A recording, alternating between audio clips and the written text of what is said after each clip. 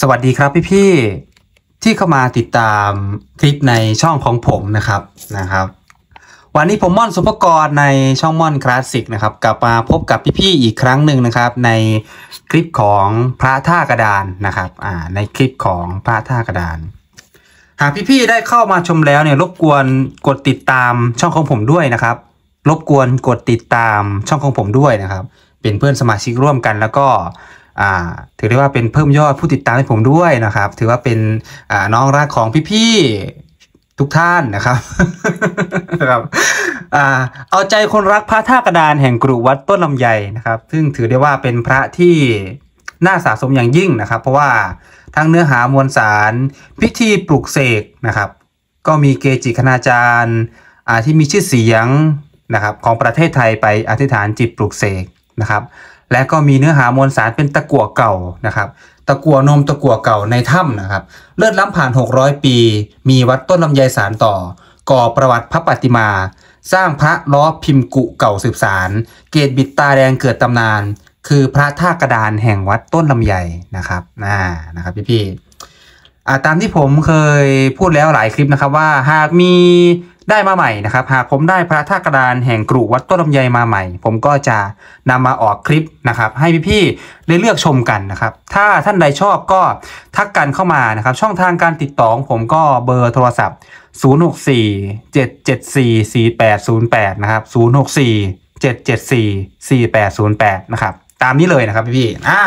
และนี่ก็คือเป็นพระที่ได้มาใหม่ 2 องค์นะครับ ได้มาใหม่ 2 องค์นะครับ ยังไม่ได้ทำคลิปเลยนะครับพี่ๆ อ่า ยังไม่ได้ทำคลิปเลยก็วันนี้เป็นโอกาสดีนะครับที่ได้มาทำคลิปให้พี่ๆได้รับชมกันนะครับเดี๋ยวเรามาเริ่มองค์นี้ก่อนนะครับ ประวัตินี่ผมก็ทำไปแล้วหลายคลิปนะครับ พี่ๆแล้วก็ผมเชื่อว่าพี่ๆหลายท่านน่าจะทราบประวัติของพระท่ากระดานแห่งกรุวัดต้นลำไยนะครับ เพราะว่าอ่าเอาขอเกินสักนิดก็ได้นะครับ พี่เดี๋ยวขอเกินสักนิดนะครับอ่าพระชุดนี้สร้างเมื่อปี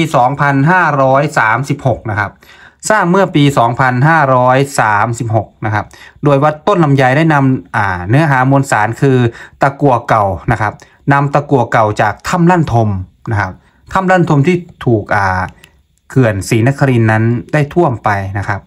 ได้รวบรวมชนวนมวลสารก็คือตะกั่วในยุคของอ่าเขาเรียกว่าน่าจะเป็นยุคของอู่ทองนะครับ ยุคอู่ทองนะครับที่มีพระฤาษีตาไฟที่ท่านได้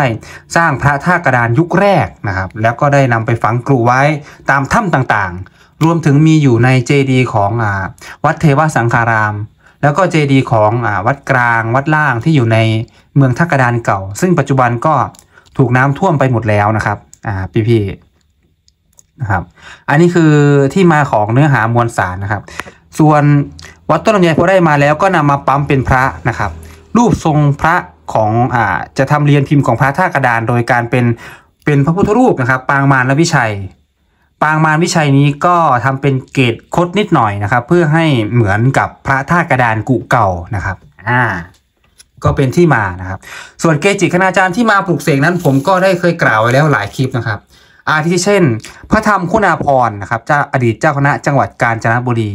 หลวงพ่อคูณวัดบ้านไร่ หลวงพ่อแพรวัดพิกุลทอง หลวงพ่อเปิ่นวัดบางพระ หลวงพ่ออุตมะวัดวังวิเวการาม หลวงพ่อหลิววัดไร่แตงทอง หลวงพ่อพูนวัดไผ่ล้อม หลวงพ่อลำใหญ่วัดทุ่งลาดย่า หลวงพ่อห้วนวัดดอนโพทอง หลวงพ่อเล็กวัดเขาดิน หลวงพ่อทองสุกวัดท่าตะคอ และหลวงพ่อแย้มวัดสามงามจังหวัดนครปฐมครับพี่ๆนะครับ และมีอีกหลายท่านที่ผมอ่ายังไม่ได้เอ่ยนามนะครับ แต่ว่าเอาเท่านี้คร่าวๆนะครับพี่ๆอ่า ส่วนคลิปโดยละเอียดนี่ผมเคยทำประวัติไปแล้วนะครับอ่าก็สามารถย้อนกลับไปดูกันได้นะครับนะครับ จะผ่านไปกี่คลิปก็เอาไม่ค่อยชัดเท่าไหร่นะ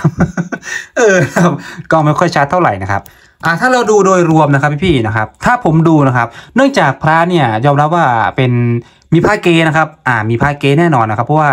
ดูจากผู้ที่นิยมสะสมนะครับ แล้วก็ราคาค่านิยมที่เพิ่มมากขึ้นนะครับ โดยหลักแล้วก็ส่วนใหญ่จะมีเดือยอยู่ด้านฐานนะครับ เราจะเห็นเป็นเดือยนะครับ พี่ๆเราจะเห็นเป็นเดือยตรงนี้นะครับ ด้านฐานนะครับ อ่า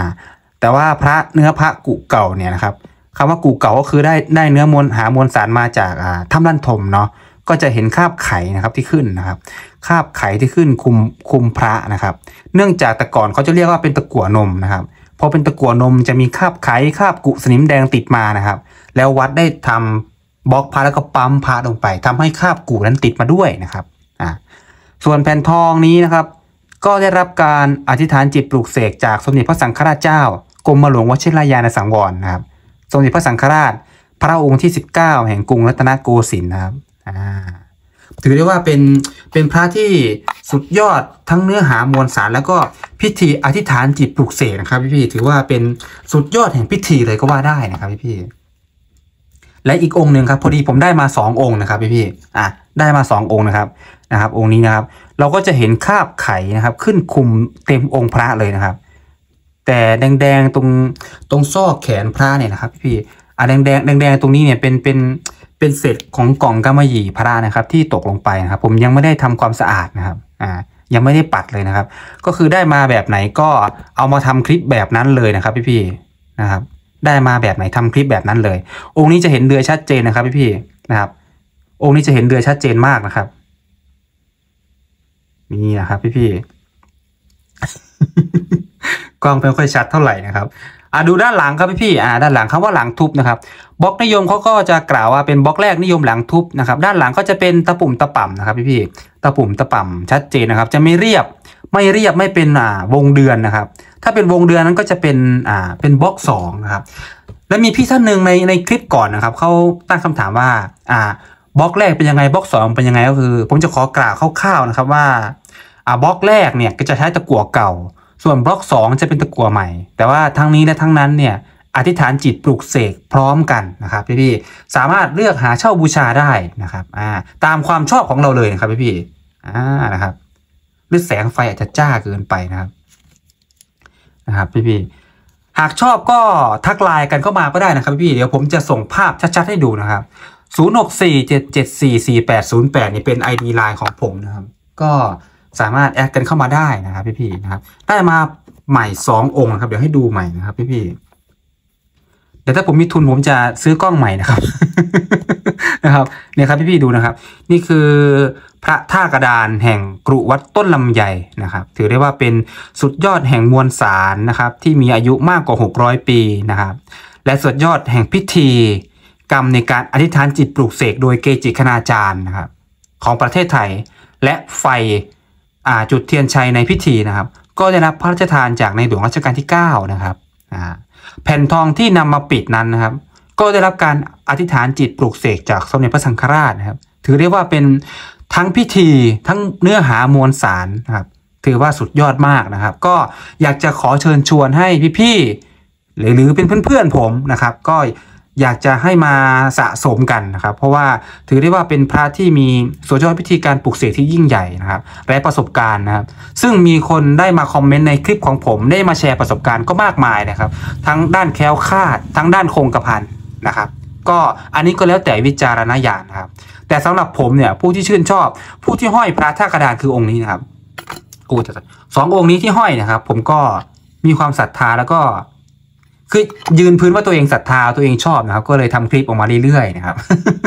นะครับพี่ๆเอาละครับเอาละครับ ถ้าชอบเนี่ยทักกันเข้ามาเดี๋ยว ผมจะถ่ายรูปให้ดูใหม่ชัดๆนะครับ แต่วันนี้อาจจะไม่ชัดเท่าไหร่นะครับพี่ๆอ่านะครับ ดูไกลๆจะชัดกว่านะครับพี่ๆเอาละครับ วันนี้พบกันเท่านี้นะครับ สุดท้ายก็อย่าลืมกดติดตามช่องของผมด้วยนะครับม่อนคลาสสิกนะครับพี่ๆอ่านะครับสวัสดีนะครับพี่สวัสดีนะครับ สวัสดีทุกท่านครับ